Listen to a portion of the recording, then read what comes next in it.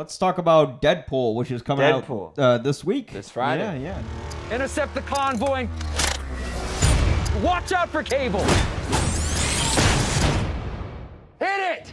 Did you like Deadpool? Is it better than the first one? I Is like the first Deadpool. Uh, the first Deadpool was a. I was probably high on it more than other people. Um, it was Yeah. it was a five star movie for me. I love the way it Oh, wow. It was a. Yeah. I love the way it circumvented and kind of um, screwed around with the comic book film, you know, formula and all Yeah, that. yeah, yeah. Even though it still ended up being a comic book film with villains and, and endings and and compel. You know, it wasn't swirling balls of fire in the sky or anything, but it still turned into a comic book film. But I like the way it it threw all that in the face and did it with style. Yeah. Um, the second one is it's good, but it is not Yeah. as good as the first. Ooh, okay, okay. Fine again, but not as good as the first. Does it does it overstay its welcome? Is Yes. it ah okay? I think this is a situation where once you get more budget and a bunch of success, Yeah. that um, when that happens, you feel like you have to make everything that you did before better and bigger and Yeah. probably a little longer.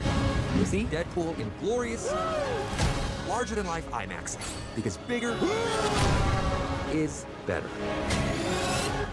Well, that's precious. I don't know. It feels like every action sequence or comedy joke or beat just hangs around a little too long when it could have been tighter. You know, I don't know if that's. I don't think that's the writing. I think the same the same writers are here, and actually Ryan Reynolds gets a writing credit on this to go with the two original writers. Yeah. I, maybe this is a thing for the director where um they didn't yell cut early enough a few times. Where um I don't know. It, it's not it's not overinflated sequel garbage where we've seen where we've seen sequels take something that meant was supposed to be small and supposed to be tight and then really blow it up too big.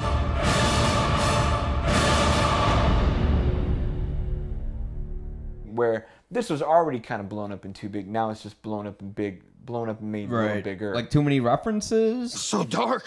You sure you're not from the DC universe? or No, see, all of that is kind of the strength of the first film, and it's Yeah, and it's yeah. still the backbone of this film. or I think I know what you mean. It's it's the length probably too. it is longer. You Yeah. know, um, it, uh, yeah, everything just kind of hangs around just a beat or two longer. Yeah. Too long in many places, and by the time five or six beats go too long, now the whole movie's fifteen minutes too long. Yeah, because You know, like that's by- the problem with comedy is like Yeah. you can only laugh for so long and then you're just like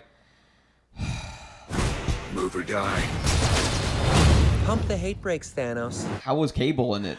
That's what helps the most. If Yeah. um, and I hate to say it, this is Josh Brolin being the MVP of two films in a row, where Wow. um, where it helps. Like um, I know Ryan, this is still Ryan Reynolds front and center, like he's supposed to be, and he, it's still electric Ryan Reynolds, born to play this part because of the motor mouth that he is. Yeah. But Bro, but Brolin comes in and plays this really good straight man who takes no and pushes right back and is and is a, just an indomitable brute that helps just beat the out of the movie. And the movie needed kind of a, a you know that ass spanking of hey hey no no no get get the going you know like Yeah. don't be don't be so slap happy all the time let's go you know so Yeah, um Brolin pushes that agenda and it helps Uh, um, it, it makes Brolin's char- straight character the butt of a few jokes, but it, it yeah, of course, but he still you're won't take any dark. shit You must it. be from the DC universe. Yeah, yeah. I mean, all that stuff is still there, and he gets called Thanos, and all the things you see in the preview and all yeah, that. that's so, right. That's true. Yeah. So, um, but no, um, Brolin takes it and really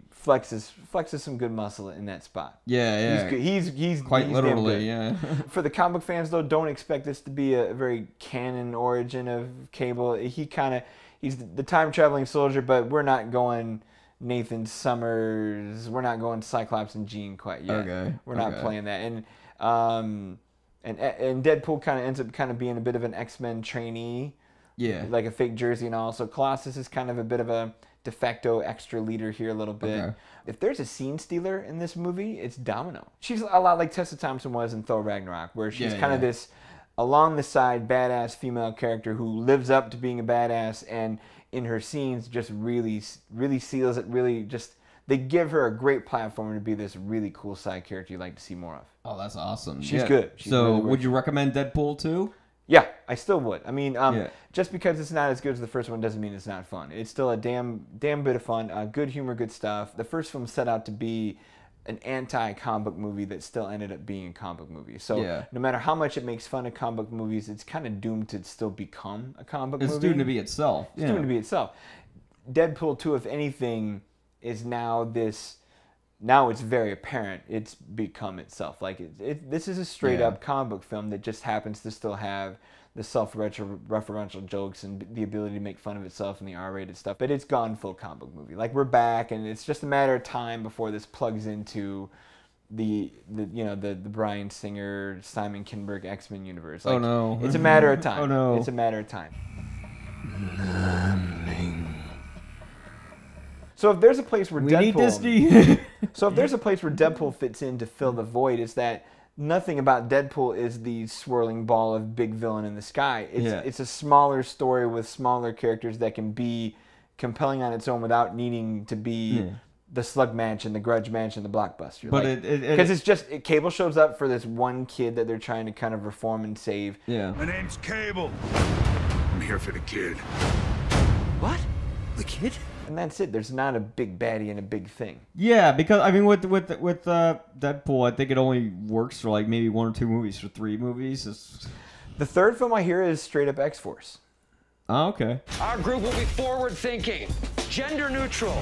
We will be known as X Force. Isn't that a little derivative? You're absolutely right. Wait, well, do you want to see Deadpool? Is it high on your list? Yeah, I want to see Deadpool because I like the first one, and I just think you know what I I know it's kind of just using the same formula. I think it only works for two mm-hmm. movies. It's not going to work for three. Yeah. I guess if they make it a team movie, then sure that that could work. That's what But- that's what helps in this film. Like the addition of Cable and Domino make the pressure. You don't have to put everything on Ryan Reynolds. Yeah, yeah, yeah, yeah, yeah. Because you know, Deadpool was sort of like a good comedy. Yeah. and uh, this will work for two comedies, but again, it's it hopefully this doesn't have Spider-Man three syndrome. Where No. Oh, okay. Well, I mean, So- like this isn't like this movie being Spider-Man Well, three, like, or then the third like, one you know, where it has just like too many characters. No, no, no. Okay, we're it's safe just, on that. It's just Safe on that. bigger, but Yeah. it's like it's it's kind of charming as being a Yeah. smaller, tighter hour and a half film rather than like a two-hour Yeah. film. Last teaser I'll give you. There's a opponent that is very well hidden in the marketing that you don't know is coming. That's Okay. awesome when he shows up. And last but not least, Peter. Any power you want to tell us about? I don't, I don't have one. Um, I, I just saw the ad. you're in. Thank you, Don, for coming on. Thanks for having me. See you next time. Yeah. You'll probably agree. Yeah, and uh, every movie has a lesson. Look at us trade Yeah, spots and get exactly. this right. There you go. All right, thanks a lot, guys, and uh, we'll see you later. X gon' give it to you. Wait for you to get it on your own. X gon' deliver to you. Knock, knock, open up the door, it's real.